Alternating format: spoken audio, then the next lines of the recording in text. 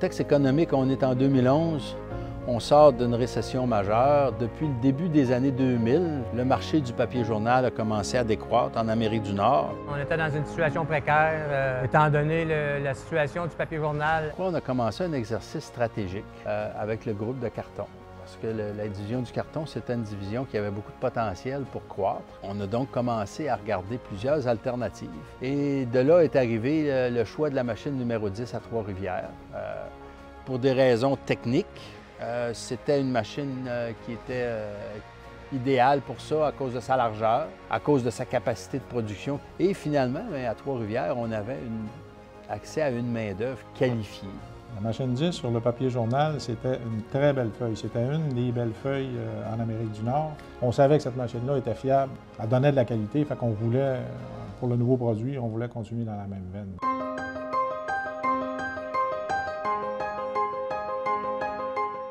Une des complexités qu'on avait au départ, c'était de, faire une construction en même temps que l'usine était en opération. Donc, on continuait de produire du papier journal, sachant bien que dans les mois qui allaient suivre, on allait faire la construction finale pour éventuellement faire du carton. On voulait installer toute cette nouvelle technologie sur, euh, sur la machine existante. Donc ça, c'était tout qu'un défi.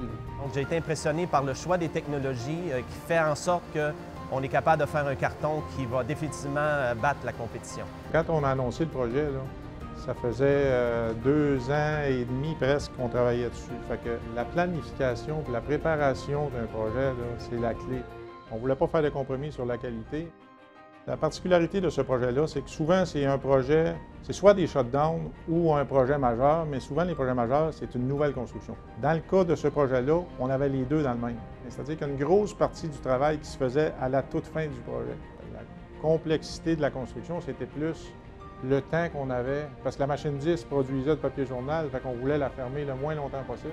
Moi, je le répète souvent, c'est un peu la recette Kruger quand quand on est appelé à faire des gros projets comme ça c'est d'être capable de, mettre des gens qui ont beaucoup d'expertise, qui ont vécu la 10 il y a 25 ans, puis qui sont avec nous autres pour ce projet-là. Puis on a des jeunes ingénieurs qui, sont appelés être avec nous autres peut-être, euh, j'ose espérer, encore 20 ans. De faire un projet, une construction sur 10 semaines, arrêter une machine, la modifier complètement, puis 10 semaines après, la repartir pour faire un nouveau produit, ça, c'était une complexité, une organisation euh, qui a demandé beaucoup de rencontres, synchronisme entre les travailleurs, les gens de construction, les gens d'usine, s'assurer qu'on respecte les délais. Elle est unique au monde, cette machine-là, telle qu'elle est, est, construite maintenant. Il faut comprendre qu'on a la plus grande usine de, mise en pâte d'OCC en Amérique du Nord à un seul pulpeur, à plus de 1200 tonnes par jour.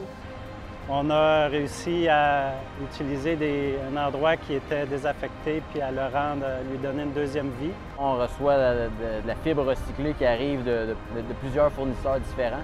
Donc l'objectif, c'est de nettoyer la pâte pour qu'elle soit le plus propre possible pour être capable de faire un carton de qualité. dans le fond, l'usine de Trois-Rivières consomme des charges actuellement 50 remorques, 40 et 50. Ça va aller jusqu'à 55 remorques par jour, 7 jours semaine, 365 jours par année.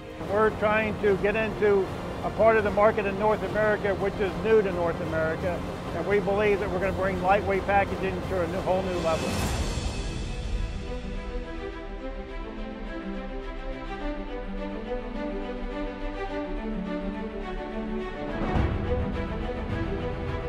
It's really a product that has not been available in the marketplace. And our vision is really uh, straightforward to uh, provide lightweight, high strength, innovative, sustainable packaging solutions uh, to our customers throughout North America and in actual fact throughout the world. Les clients nous connaissent très bien et puis ils savent que notre but c'est de les aider, notre but c'est de travailler ensemble, notre but c'est de développer.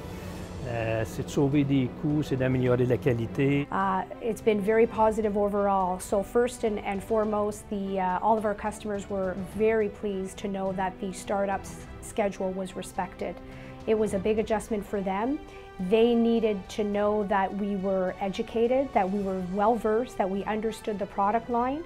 And so the, some of the positive feedback has been that they feel that it's been a very, very easy transition and the best feedback of all is that the, the product uh, quality is excellent. So we could not ask for more. That the feedback that we're getting from customers is, you know what, the product that you're delivering is actually better than what you promoted prior to, uh, prior to your startup.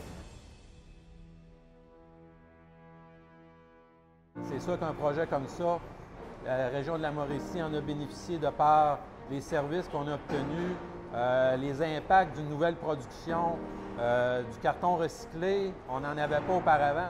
Euh, évidemment, c'était un gros projet qui est, je dirais, dans le temps, très, très, qui a été très, très court.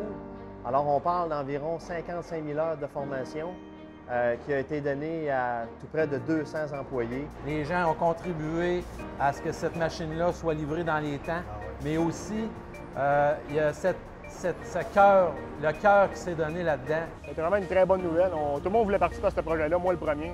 On voulait tous participer à quelques degrés, soit, là, soit contre-maître ou euh, travailleur. Oui, on a bâti une nouvelle machine, il y a un nouveau plan d'OCC qui est mis en place, mais au-delà de ça, on est en train de bâtir l'avenir. On aura bâti l'avenir de notre usine pour des générations, des, des générations à venir.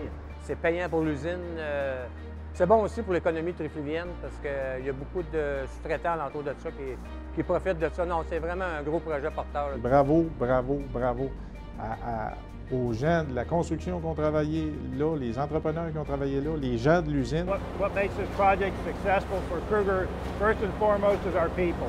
They make the difference.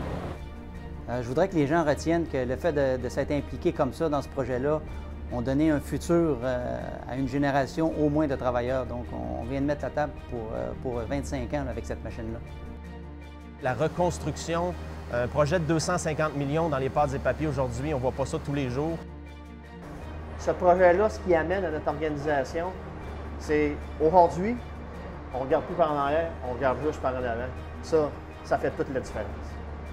We're transforming a paper machine. We're transforming a culture into our Revere in the packaging group. And by doing that, we're transforming the Kruger organization. and it is going to be the best linerboard machine in North America.